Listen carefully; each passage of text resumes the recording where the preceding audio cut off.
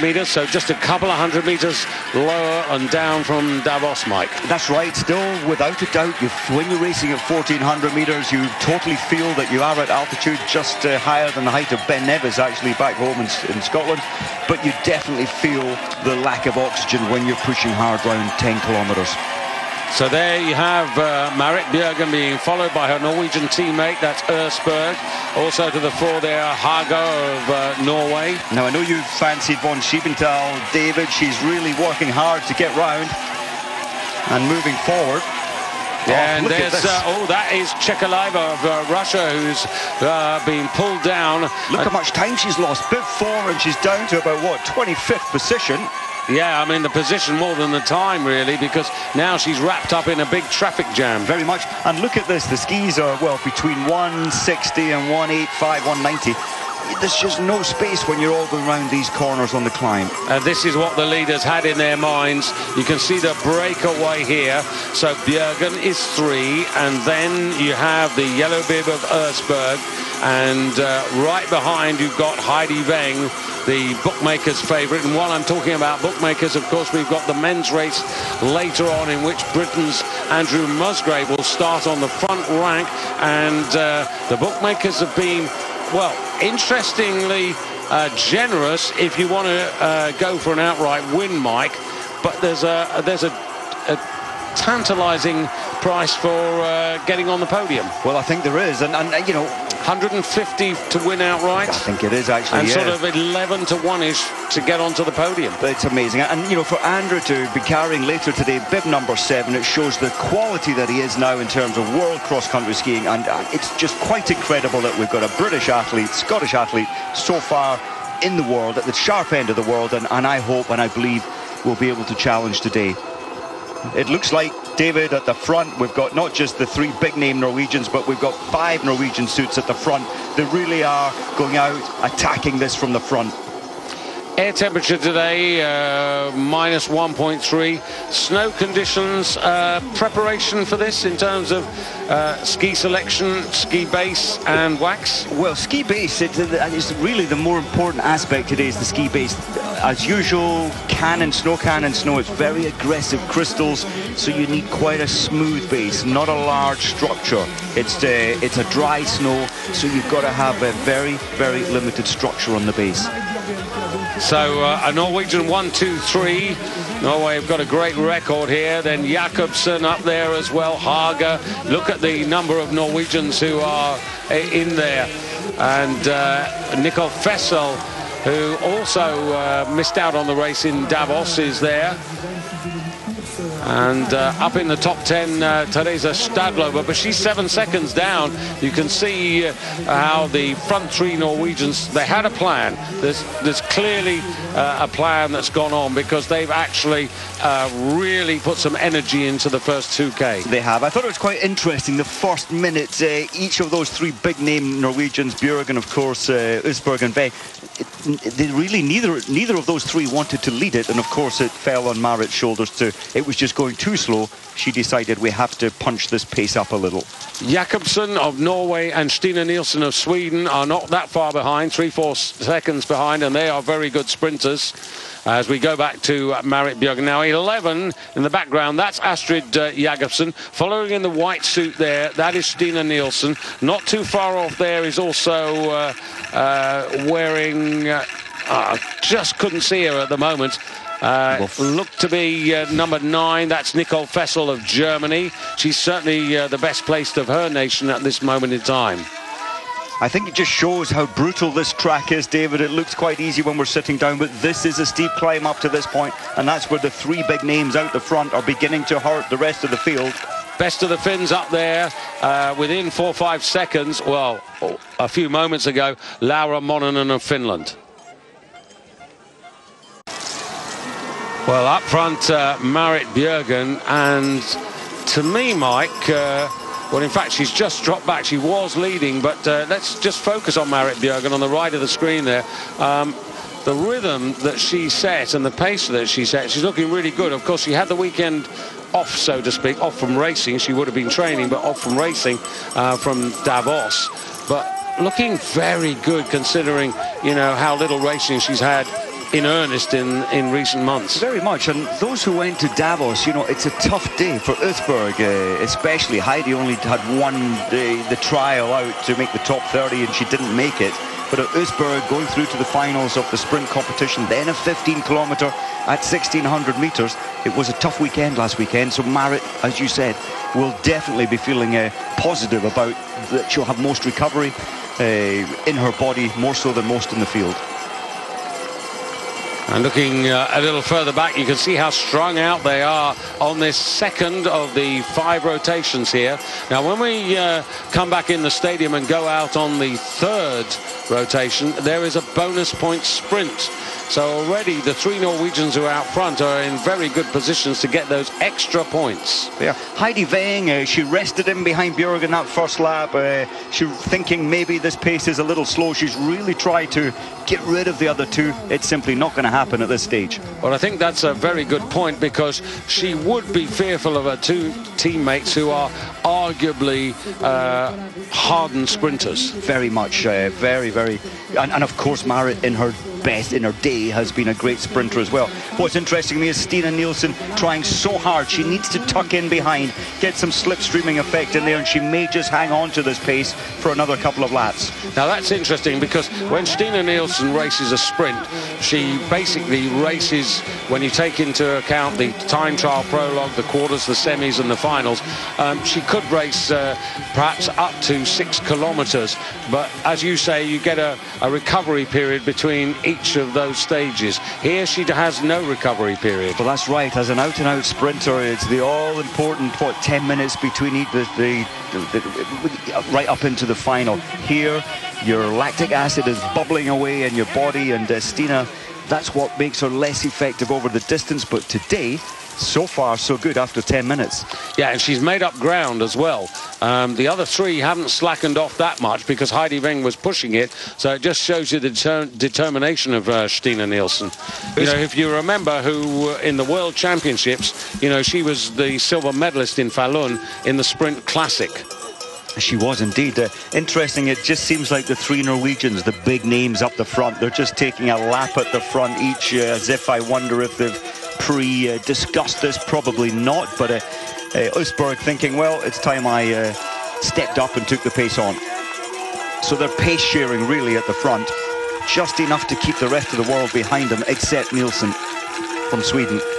It's interesting that Marit Bjørgen decided to take the weekend off from Davos. Uh, she said that she felt tired, so she was clearly listening to her body and the messages she was receiving. And we know over recent years when she's been commanding the World Cup, winning the Tour de Ski, that actually she now really understands her body uh, uh, probably better than most other athletes, and she knows in the season where she's going to challenge for Nordic World Championship honours, then, uh, you know, she knows how to rest and recover and then come back again. Now, the sprint, four there for three.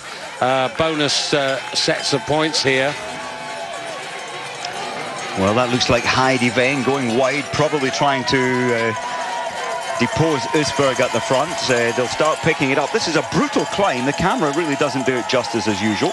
There's only 10 points between Østberg and Weng in the overall World Cup rankings, so uh, that's closed the gap a little bit there. She's nibbled away at it. Stina Nilsson, the sprinter, didn't even attempt it. She's trying to conserve some of her energy to stay with the lead group. Stina wants the big prize. And here's Anna Haag uh, leading up there. 14 seconds, you can see the gap.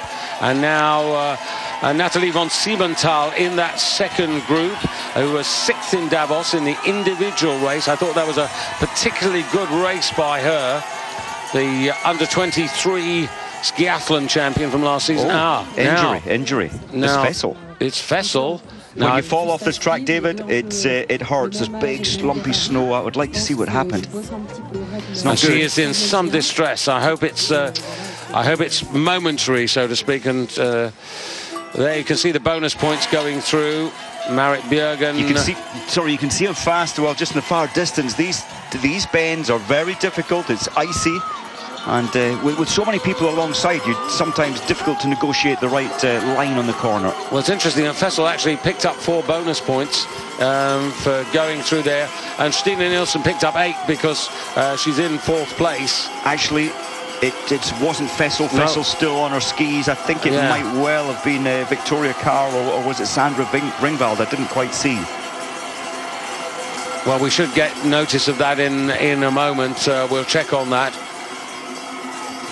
So uh, 10. It is Victoria Carl uh, yeah. who fell, so uh, bib number 18. Yeah, 21 year old and back to the front now and Østberg leading. Stina Nilsson they've just gapped off her a little bit. She'll pull it back David but the, you know every time she comes to a climb the Norwegians pump it up a little more and uh, Stina Nilsson just can't quite stay with the brutal pace. That was uh, Anastasia Anastasia Sedova there and the, the, chase is on, but it's really difficult for the others to get back to these three because the effect of the bonus sprint was to turn the screw on everybody in fifth, sixth, seventh, and eighth places as well. Yeah, very much. Stina Nilsson, as, as expected, pulling it back. Now, I don't think that Østberg will want to lead another lap. She's at the front now. I think the pace will slow down. She'll want the other. Yes, there she goes. She's wanting someone else to take the pace on. Heidi Weng next. Well, this is the interesting moment, isn't it? We're now going into the six to eight kilometre period. What does Heidi Weng now? She's got three recognised sprinters uh, there to deal with. And, and surely what she's got to try to do is to really uh, take the sting out of them if she can. If she can. you, just, you just feel that uh, Weng, Bjørgen, Østberg are going to glue themselves together until the last like five, 600 metres. Yeah, so at uh, six kilometres, uh, we'll just uh, pick out one or two others for you. So uh, you know about uh, the first four. Uh, Ragnhild Haga's in there in uh, fifth place. Nicole Fessel in sixth. Then Anna Haag, uh, Nathalie von Siebenthal. They're all 16, 17 seconds off the lead. The promising Teresa Stadlober from Austria in there. And also uh, Silje Slind for Norway in the top 10. You can just see, uh, well, we saw there at the side of the track, if you fall off, there's some big lumps of snow, and uh, they really are like uh, landing on rocks. You can see one there in the far distance, and I think Victoria Carl, when she fell, that's probably what's uh, what's really injured her. So, up front there, Heidi Weng from Østberg, from Marit Bjørgen, from Stina Nilsson. And this must be tantalizing for this group here because they can see them, but they can't catch them. And, and the trouble is, is once that gap has opened up, it, it is so difficult to try and close it again. And there is Nicole Fessel. She's leading this party from uh, Haga of Norway. 10 there. That's Anna Haag in the white for Sweden. Going through there, that's uh, Laura Mononen of uh, Finland in the middle of uh, that group. Slightly detached here. Uh, this is uh, Sedova of Russia. And then uh, 59, that's uh, a pretty good race by Anna Dyvik of Sweden. Oh, look at uh, that's Anna Haag uh, taking a tumble there, just tripping over the ski pole, I think, of the athlete no, ahead No, that would be Maria Rydqvist. Was it Rydqvist? Yeah. so, uh, or at least I am pretty sure it was uh, Maria Rydqvist. Now, Østberg go back. There's no doubt that Østberg gained tremendous confidence from that 15 kilometer win last weekend and also the, you know, good performance in the sprint.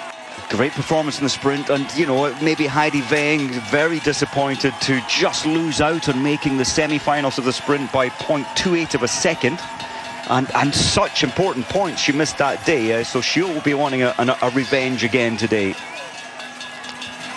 Yeah, though, in the Davos sprint, you know, was out of it. Didn't really qualify for the important stages. And, uh, but she, you know, she isn't she isn't slow, let's put it that she way. She certainly isn't, and uh, she'll be wanting, uh, as, as, I say, her revenge today. And I think uh, we saw Østberg last uh, at the front, trying to really push the pace up, and she still is. There she is, Østberg uh, trying to get rid of the other two.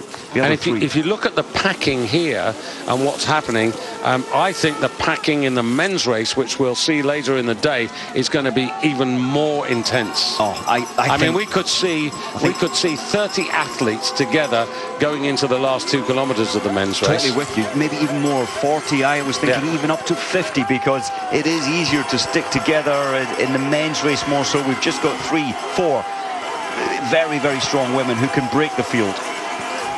Østberg desperately trying to break her teammates, Bjørgen and Weng.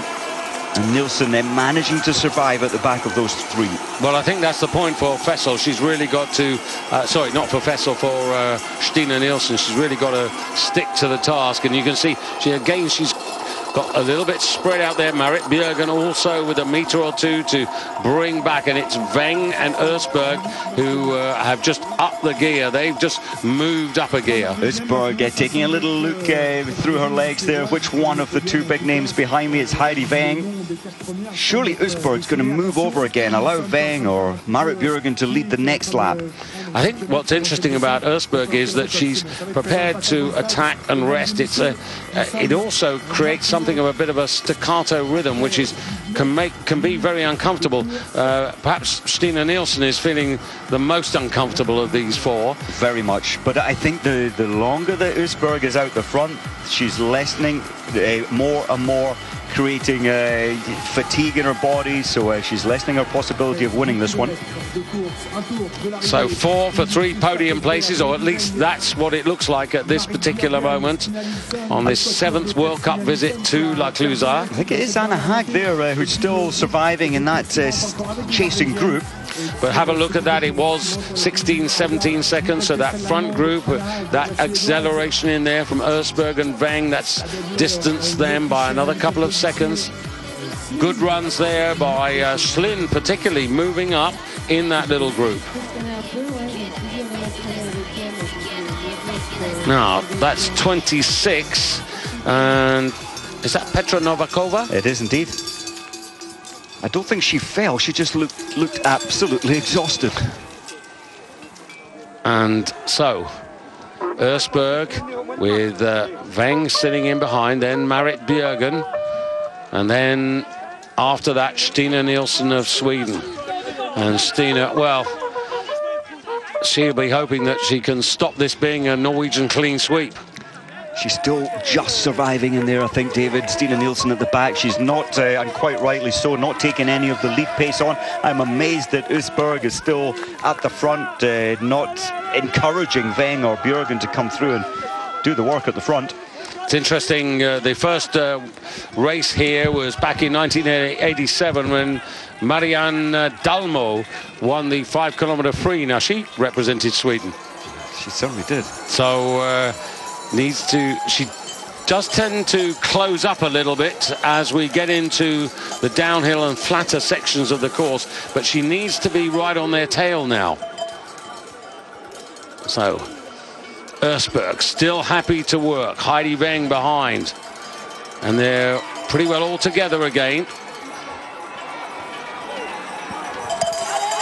So uh, now you can see here Marit Bjørgen on the left of your screen there going for that very traditional charge here. And Marit Bjørgen trying to make a move here and she's done so. And she's taken Heidi Weng with her.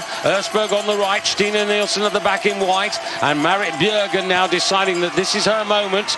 She will have thought this through but also then suddenly just eases off couldn't sustain. Well, Østberg had the better line when you're on the inside line. Marit tried so hard, and now she has just gone ahead, but Suffering now just a little. Marit really putting that turn of pace on. and the uh, strength of Weng and the belief of Weng there very evident. Nicole Fessel there, number nine, leading the chasing pack, but you can see that they've actually lost visual contact with the leaders, and you can see Stina Nilsson off the pace. So uh, Marit Bjørgen on the right, Østberg in the centre, on the left there, Heidi Weng, Stina Nilsson in white behind there, and uh, look at this for a climax. Wow, less than a kilometre to go. Where did Østberg get the energy from? She is an out-and-out sprinter as well as a distance operator, but so is Bjørgen, so is Weng. Well, Marit Bjørgen won the last two races here in uh, La Clusaz when she was last here, so this will be a hat trick. One of those was a 15 kilometer race, and uh, Bjørgen, well, now she makes the definite break there, and she's gone away, and Østberg has been caught, and so has Heidi Weng and Stina Nilsson. No, David, sorry, it's Weng up the front. Weng, Weng up the front, Weng yeah. was just poised there, ready to explode over the top of that rise. Weng up there with uh, then Østberg, then Bjørgen, then Nilsson. What a turn of pace, and, and, I think Weng, we saw her, this is the important part of the race, I think she's without a doubt snapped uh, the other two, her teammates. Well, she decided uh, quite clearly that uh, she was not going to let this uh, go for uh, a sprint finish because too she, dangerous. Exactly, she ran the clever race. She didn't take much of the lead on, and, and Østberg were really unfortunate. I, I think she took too much of the lead pace on. So Weng uh, coming in to the finish here, being pursued by Marit Bjørgen, Østberg in third place, Stina Nilsson fourth. But that was the decisive break, which is going to bring 100 World Cup points to Heidi Weng, plus the bonus points. In second place, Bjørgen. Østberg will be a bit disappointed, I fear. And then uh, Stina Nilsson, she did as good as she could. I think it was great, David Nilsson, to live with the pace of Weng, Bjørgen and Østberg. 3.5 seconds. Fantastic day. Haga leading this little group for uh, Norway in there. And uh, she's wearing bib number 7, 12 on the right there. That's Teresa Stadlober, I think, for uh, Austria. And that's a remarkable performance by her. Haga, another Norwegian across the line. Uh, Haga, Stadlober and Fessel, the uh, next uh, home.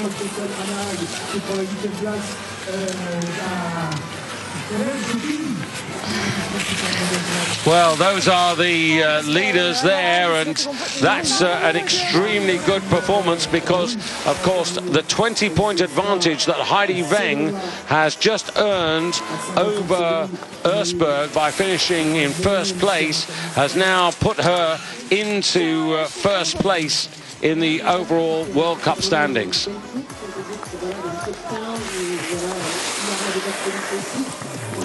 Good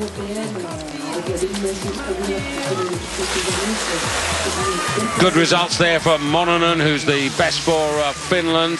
Von Siebenthal, that's a decent result. Roponen there in 16th place. And uh, had that fall uh, just inside the top 20. Well, it's almost time for Mike Dixon and myself, David Goldstraw, to take our leave. We'll be back later in the morning for what will be, in fact, the afternoon for the men's race over 15 kilometres with Andrew Musgrave. So uh, time for us to uh, move across to Ramsau in Austria, where the world's best Nordic combiners are waiting to get underway in their first competition of the weekend.